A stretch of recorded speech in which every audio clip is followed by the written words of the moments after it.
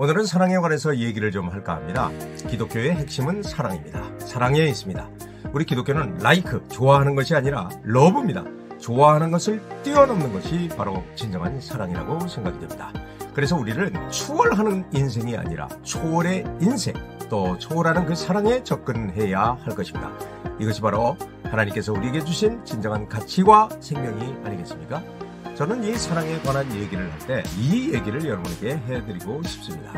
안병동에 한 선생님이 계셨는데 어느 날 한 예쁜 아가씨가 찾아옵니다. 그 아가씨가 찾아와서는 청첩장을 내밉니다. 제가 이번 5월에 결혼합니다. 참 아름다운 시간들이죠. 그런데 이 아가씨는 바로 암병동에 얼마 전까지 입원했던 환자였습니다. 이 의사 선생님은 깜짝 놀랐습니다. 왜냐하면 이 아가씨는 암 말기였기 때문입니다.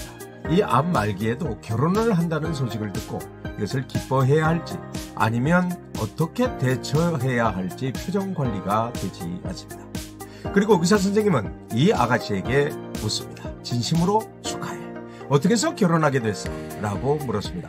그러자 이 아가씨는 이렇게 답을 했습니다. 제가 이제 암 말기라 해보고 싶은 일이 있었습니다. 그 중에 하나가 바로 윈드 서핑, 그리고 하나 스킨 스쿠버였습니다. 이 두 가지 일을 하고 싶었던 겁니다. 윈드 서핑을 배우고 또 스킨 스쿠버를 배우는 동안 그는 스킨 스쿠버 다이빙 강사와 첫눈에 반했습니다. 그리고 그녀는 그 스킨 스쿠버를 하면서 점점 깊이 바닷속으로 들어가는 것처럼 점점 더 깊은 사랑을 했던 것입니다. 여기까지는 참 좋았습니다. 의사 선생님께서 와 놀랍다 라고 대답을 해주셨습니다. 그런데 의사 선생님은 잠시 침묵을 하고 그 아가씨에게 이렇게 묻습니다. 진짜 결혼할 건가? 네 라고 대답을 합니다.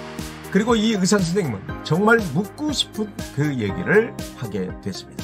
그러면 결혼할 남자도 당신의 말기암을 알고 있습니까? 그러자 이 아가씨는 머뭇거리지 않고 바로 답을 합니다. 알고 있습니다. 그럼요. 당연하죠. 이 의사 선생님은 또다시 침묵을 합니다. 그리고 또 묻습니다. 그렇다면 그 사실을 알고도 결혼한단 말인가? 이때 아가씨는 1초도 머뭇거리지 않고 이렇게 답변했습니다. 그럼요. 저를 사랑하니까요. 이 아가씨가 청첩장을 놓고 돌아갔을 때 창문을 바라보면서 의사 선생님은 얼마나 많은 생각을 했는지 모릅니다. 어떻게 이럴 수가 있단 말인가? 말기 암인데 곧 죽을 수밖에 없음에도 불구하고 어떻게 이렇게 결혼을 해서 삶을 살 수 있을까? 사랑하는 성도 여러분, 이 얘기를 들으면서 어떤 생각이 드십니까? 저는 이런 생각이 듭니다.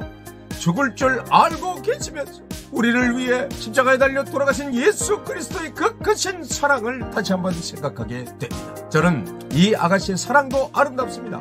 그러나 더 아름다운 것은 이 남자가 말기암 죽을 수밖에 없는데도 불구하고 결혼을 선택했다는 이 놀라운 사랑 이 시대의 진정으로 이것이 사랑이 아닐까 저는 얘기하고 싶다는 것입니다. 사랑은 인간의 생각을 뛰어넘어야 합니다.